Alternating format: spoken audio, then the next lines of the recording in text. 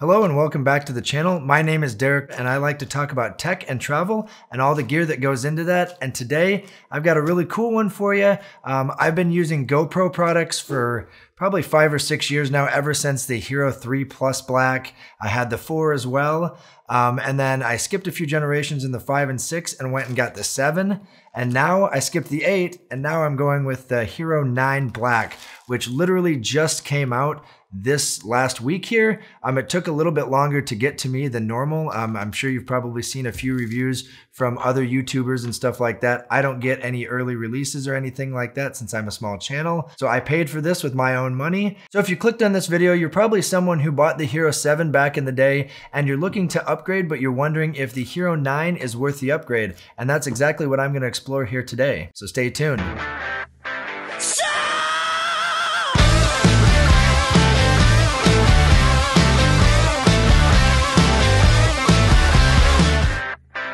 All right, so let's get into it. It literally came to me about a half an hour ago. I just took the cardboard box off from UPS and it's packaged in a little bit of protective plastic here.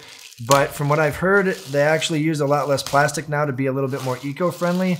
You can see that here, just a little bit of plastic and paper actually. So the card kind of cardboard thick paper on the box there tears pretty easily. And I'm gonna tear that off and get into the real box here. There's a little tear tag at the bottom to make it a little bit less messy. So you just pull like that, toss it off to the side there. And this is nowhere near what the packaging used to be like before. It used to have that sort of bucket, the clear bucket or display case on the top that you would see the camera through. This just comes in a little bit of paper that you can recycle or toss out, and then this nice carrying case. Just before I toss out the paper covering, I'll go through some of the features that they've added to the new Hero camera, and that's gonna be 5K, so now it records 5K at 30 with Hypersmooth 3.0, and it does 1080 and 240 frames a second. It's a 20 megapixel sensor now instead of the 12 megapixel that they had on the previous three, four, maybe even five cameras. They've been using that sensor for a long time. They've also added 1080p live streaming and webcam mode. Like the last few GoPro cameras, it's actually kept the 33 feet or 10 meters water resistance rating, voice controls, and data overlays that you can use in the software to actually uh, tell your speed, your height, stuff like that. Then, of course, they kept the touchscreen on the back, but GoPros are notorious for having kind of finicky touchscreens, so we'll see if that survives onto the Hero 9. So right now, there's two ways to purchase on their website. No matter which bundle you choose, you save save $100 if you go with the subscription to GoPro's service for a year. The subscription includes unlimited cloud storage for all of your GoPro videos, up to 50% off of GoPro.com accessories, and you get total camera replacement. And that's just a little bit of clever marketing on GoPro's side. So the carrying case that comes in here has got this sort of textured feel to it. It looks like a pretty nice case and it does feel padded, so it's got some construction to it. Um, and then this nice firm zipper here. And if we open that up, We've actually got the GoPro, the cable that you would plug it into the charger, some mounting brackets right here, the battery, which this time it's 1720 milliamp hours instead of the 1220 milliamp hours from the previous battery. So this is actually going to last a bit longer and I'll do a test for you here later as well. The traditional GoPro screw. I much prefer getting other screws actually. These, I don't really like the, the tightening mechanism on this.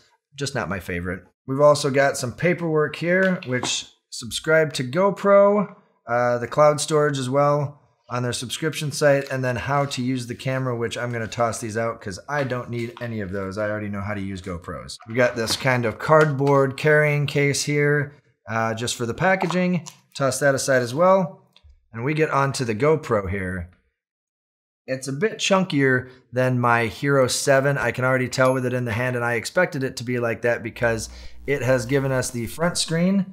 Instead of the status screen of the previous versions, it actually has a full color display now, and the button has changed sides. So in the Hero 8 Black, I think is when they changed the menu button to the left side of the camera instead of the right, and the battery door is taking up the right side now instead of the bottom on my Hero 7. So if we peel off this plastic now, or even just slide it off here, it looks like it can just slide off.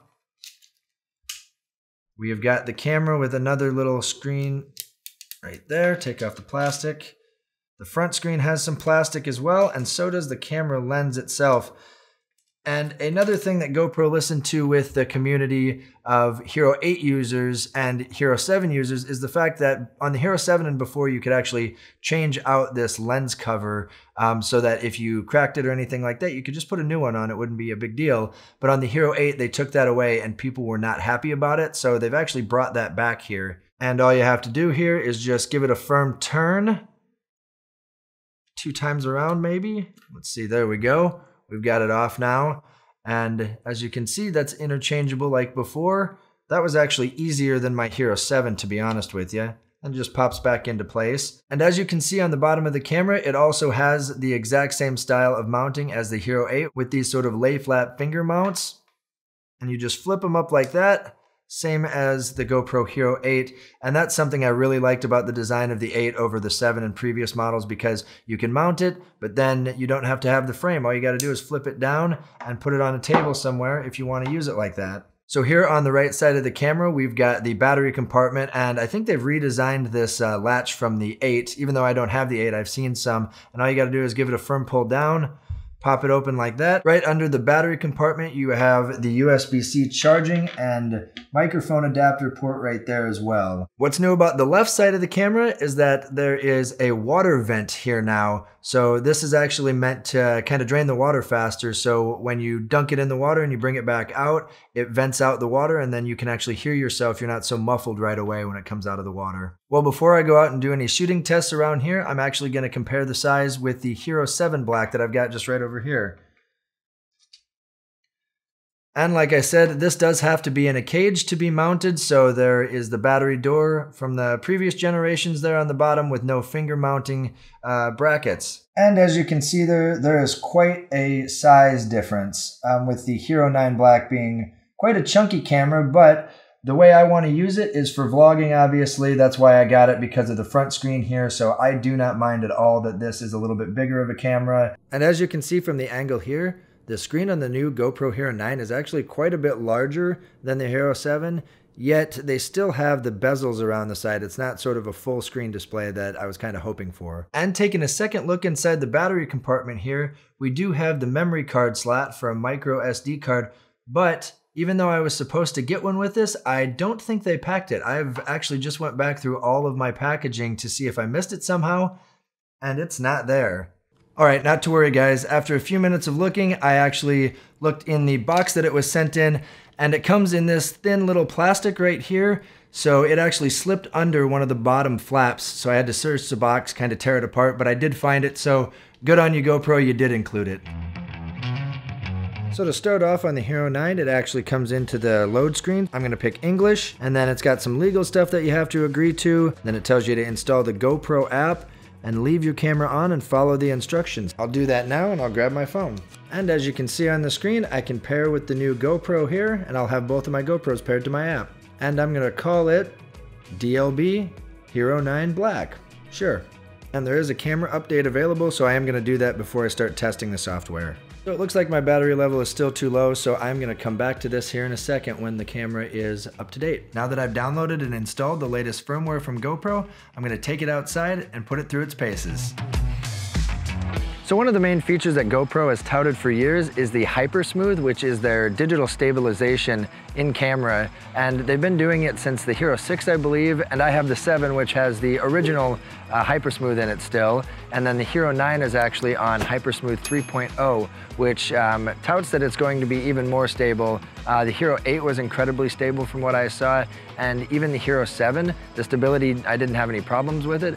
So I've actually come out to my backyard. It's a little bright out here because it's about uh, an hour before sunset. I've got them both mounted. I've got the Hero 9 at 4K 30, and I've got the Hero 7 at 2.7K 30, both in linear mode, because that's the way I like to shoot my footage so that it works better with other cameras. Uh, it doesn't have that sort of GoPro fisheye look. And I'm just gonna do a simple shake test, so here we go.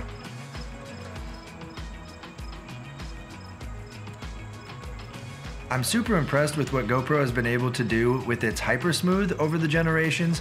On the Hero 7 by no means is the Hypersmooth bad, but as you can see from that test footage, the Hypersmooth 3 just knocks it out of the park. I mean, Literally, I'm shaking the camera back and forth, up and down, side to side, pretty violently, and it's able to keep everything framed up really nicely. And the addition of the horizon leveling feature is something that I really appreciate. On to the next round of tests. While I'm out here in the backyard, I might as well go ahead and do an audio test. So what you're gonna hear first is the new Hero 9, and right now the media mod is back ordered, so I can't get that to try an external microphone. Um, and then on this side, we've got the Hero 7, so you'll be able to hear the difference there really quickly. I am just in my backyard, and you'll hear some crickets chirping on both of these. Uh, this is just a pretty good test to get what the internal microphones sound like on the new Hero. Along with new mics, they also added a water vent on the side that I'm gonna go downtown and try out. For this test, I do have the cameras side by side again. I've come down to our local dock on this nice morning, and I'm just gonna dip them in the lake to see if the vent actually does have an effect on the sound quality.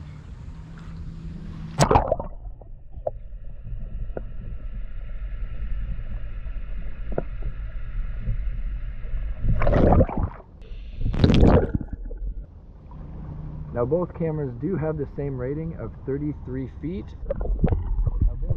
Now both cameras do have the same rating of 33 feet? Or 10 meters. Or 10 meters.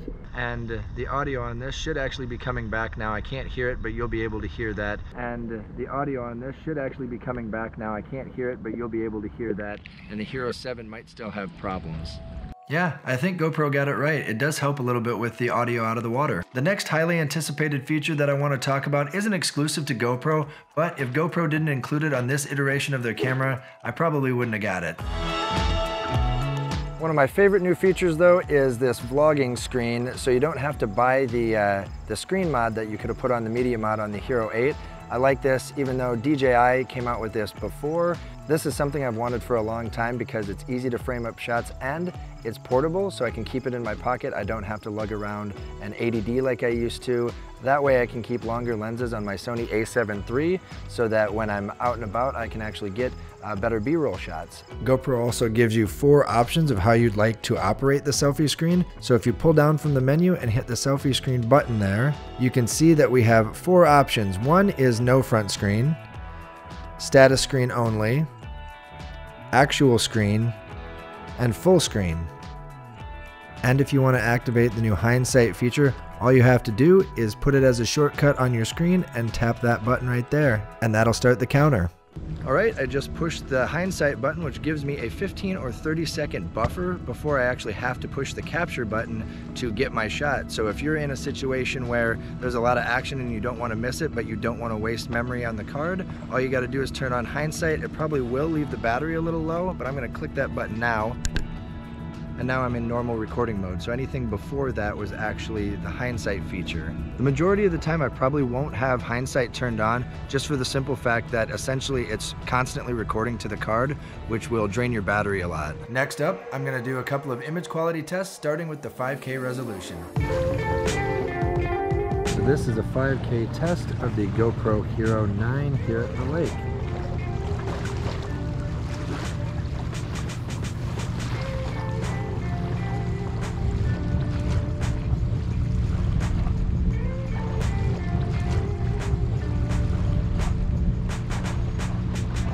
So before I leave the lake, since it's such a sunny morning, I'm actually gonna do a quick high dynamic range test. The video looks properly exposed here. If I'm looking into the sun, it's probably pretty good as well, but then when I turn it around and put my head kinda in the sun there, I look pretty dark on the screen. I don't know what this camera is rated for uh, dynamic range, but I'll put that next to me here right now.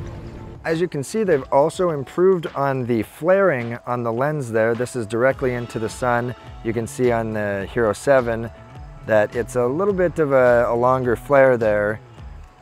This actually looks like they did a really good job just from the back screen here. I'll have to review it inside as well, but I'm pretty impressed. So getting back to that new horizon leveling feature that's actually built into the GoPro cameras this time around, um, as you can see, as I turn my arm, it's actually to level until about 30, 45 degrees and then it clicks in. Um, but you can actually do a little trick that stops that. little dog up there. But there's actually a trick that you can do to make it go all the way around. So if you go into the settings, so pull down from the top and actually click the max mod button, um, even though I don't have the max mod right now, it actually still works pretty well. So if you click that button, you can actually go all the way around and I'll show you that here next. I've now turned on the max mod feature and I've got it on wide and not super wide because I actually like the field of view a little bit better. It gives the sensor a little bit more to play with. So I'm just gonna rotate my arm and as you can see, my head is going to stay in the shot just fine unlike the Hero 7 next to it. Also, having the ability to keep your horizon constantly level is a great feature because GoPros are pretty small cameras and it's pretty easy to get off axis just by slightly turning your wrist. So having that feature built in is a big improvement over the previous generation where you would have had to use the software. Another software feature GoPro has included this time around is the ability to take night time-lapse videos. By going into the settings and choosing your night lapse, you can actually customize it to output to video instead of photos, which looks something like this.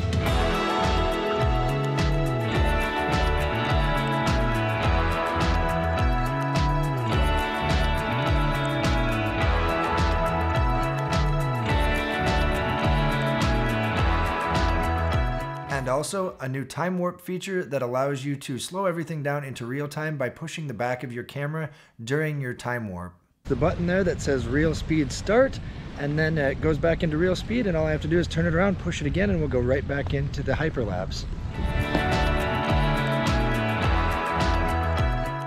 I think this feature could be useful when using this for long hyperlapse style videos where you want to give a little bit of exposition or even just to give yourself notes for editing later. And before I give my conclusion on whether you should upgrade to this camera or not, I'm going to do that battery test I told you about at the beginning. As you can see by the three timers above me, I've got the 4K 30 running on the Hero 9 and the Hero 7, and I've also got the 5K 30 to give a little bit of a comparison at the camera on its highest settings. As you can see, all cameras make it past the one hour mark with the Hero 9 at 5K 30 coming in at one hour and five minutes. The next one down at the slightly lower resolution of 4K 30 is the Hero 7 with one hour and 15 minutes. And finally, outlasting all of the other tests is the Hero 9 once again at 4K 30 coming in at 1 hour and 27 minutes. Honestly, that was to be expected with its substantially larger battery capacity this time around. In conclusion, I think the Hero 9 is all around an absolutely great camera if you're on the Hero 8, I'm not sure I would actually do the upgrade because they are very similar in a lot of regards, but that front screen is um, a huge factor in my decision making. If you're on the Hero 7 like I am, it is definitely worth the upgrade. Longer battery life, the front screen, better audio for sure. Um, the touchscreen is still a little finicky, and I did have some problems with uh, making it actually stick when I touch my fingers to it or uh, do what I want it to do. Um, but that's not a deal breaker for me because it's not the touch interface that I bought the camera for. It's all of the other features that it has. I feel like with strong competition coming from DJI and Insta360 in the action camera space, and especially on the software side of things, um, GoPro will need to step it up in the next few years, especially when it comes to trying to take down cameras such as the Insta360 ONE-R that has the modular design. Thank you for taking the time to watch this video. I hope it was informative, and if you could please hit the like and subscribe button below and the little bell icon that will notify you of all my upcoming videos. The algorithm here on YouTube really likes that. That way, you can help out the channel by helping more people see it. Stay tuned to the channel for upcoming travel videos, and click here if you'd like to see some previous ones.